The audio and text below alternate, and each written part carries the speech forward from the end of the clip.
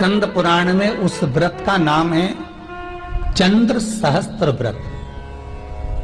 ठीक है? अगर आप सुन रहे हैं तो है ना?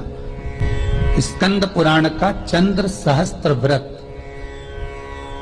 संपूर्ण पाप को मरने से पहले समाप्त कर कर भगवान का दर्शन पाने का लक्ष्य है चंद्र सहस्त्र व्रत। क्या करना है इसमें? सोलह कलश जिसके अंदर सुंदर दूध भरना क्या लेना है इसमें? सोलह कलश में दूध भरना दूध भरकर उसके ऊपर एक एक प्लेट रखकर उसमें मीठा रखना कुछ भी मीठा बनाकर। और द्वादशी तिथि शुक्ल पक्ष की पड़े। द्वादशी तिथि शुक्ल पक्ष।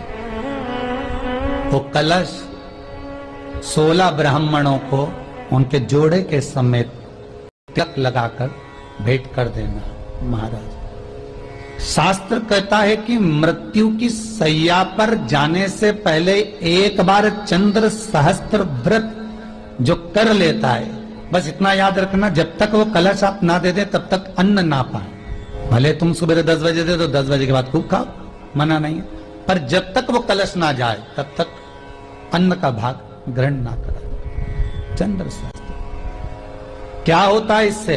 तो कहा, ये वो व्रत है जो दक्षिण देव दिशा ने यमराज से पूछा था कि ऐसा कोई व्रत बताओ जिसको व्यक्ति पाप कर्म भी कर लिया। मान लो पापी रहा है, संसार में पैदा हुआ है तो दुनिया में आए हो तो ऐसा कोई मनुष्य नहीं जिसने पाप ना किया। ऋषभ देव जी महाराज ने जड़ भरत को ज्ञान दिया था, अपने पुत्र को ज्ञान दिया था कि चार स्थान पर हर व्यक्ति से पाप होता है।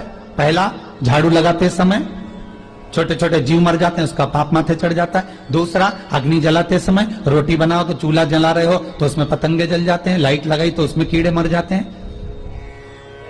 तीसरा, कपड़े धोते समय, पानी भरते समय, स्नान करते समय छोटे छोटे जीव मर जाते हैं। चौथा, घर से निकलकर कहीं जा रहे हो, अपने पाँव के नीचे छोटे छोटे जीव मर जाते हैं। चार स्थान पर हर व्यक्ति से पाप कर्म होता है। तो व्यक्ति तो संपूर्ण कितना बचोगे? पाप तो जीवन में लिखा है। कोई गुरु जी कहते कि मेरे तो पाप ही नहीं करा तो समझ लेना झूठ बोल रही है। भाई कहीं का कह रहे कि हमने तो पाप ही नहीं करा, हम तो इतना बड़ा गुरु जी हमने तो कोई पाप ही नहीं करा। जी द्वारा बताए गए पाए जाने के लिए चैनल को सब्सक्राइब करें, वीडियो को लाइक और शेयर करें। आपको गुरु जी की आवाज़ में ऐसे ही उपाय इस चैनल के माध्यम से मिलते रहेंगे।